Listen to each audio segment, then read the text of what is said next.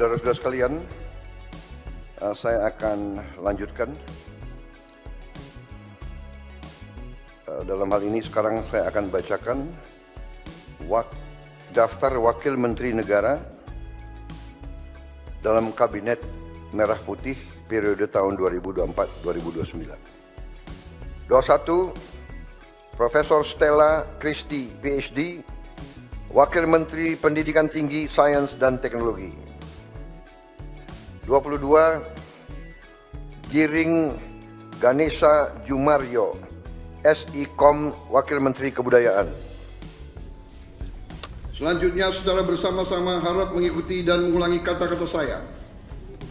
Bahwa saya bahwa saya akan setia kepada akan setia kepada Undang-Undang Dasar Negara Republik Indonesia Undang-Undang Dasar Negara Republik Indonesia tahun 1945 tahun 1945 serta akan menjalankan segala peraturan perundang-undangan.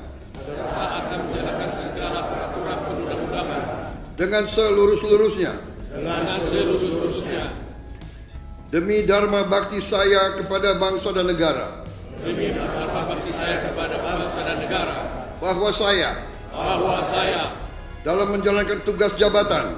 dalam menjalankan tugas jabatan akan menjunjung tinggi etika jabatan.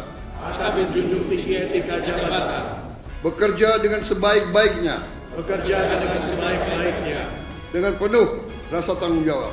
Dengan penuh rasa tanggung jawab.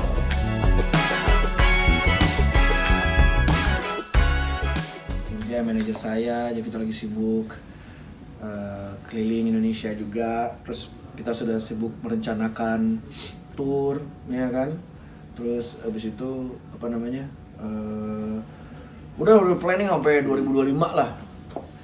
Tiba-tiba mendapatkan telepon dari bapak presiden langsung.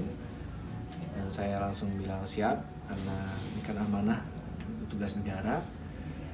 Jadi ya udah kita langsung tiba-tiba dipanggil ke Kertanegara pas di Kertanegara dikasih arahan lagi bagaimana Pak Presiden bilang kebudayaan budaya itu harus menjadi wajahnya bangsa Indonesia. Jadi ada tugas besar tanggung jawab besar dan senang sekali bisa berdampingan dengan uh, Bang Fadli Zon sebagai menteri. Karena Bang Fadli juga punya uh, wawasan passion juga terhadap kebudayaan. Jadi memang kayak cocok gitu. Pak Prabowo luar biasa mencocokkan Bang Fadli dengan saya gitu. Habis itu udah waktu dipanggil ke Kertanegara ya kita itu lumayan agak lama ya. Iya kan. Oh iya kan udah ada pelantik ada pelantikan presiden lainnya.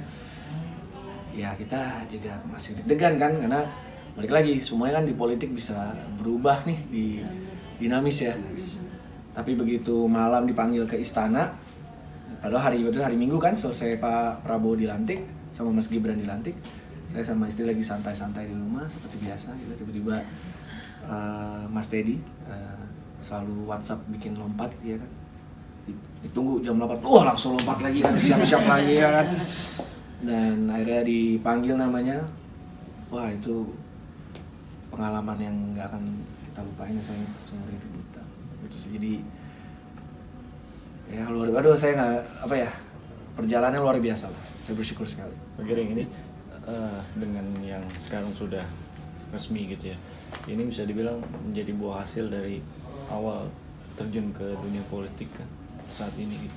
Sejak kapan mas berkeinginan ingin berpolitik pertama kali? kalau berpo- berpolitik kan karena dari ta- tahun 2017 Eh, terus kan di PSI jadi ketua umum nyalek ya kan menjadi menteri itu memang salah satu eh, sorry menjadi wakil menteri atau masuk ke kabinet itu juga salah satu impian saya juga gitu jadi ya mudah-mudahan ini juga adalah awal mula hal-hal besar ya gitu. yang paling penting apa sih yang bisa saya lakukan buat bangsa Indonesia itu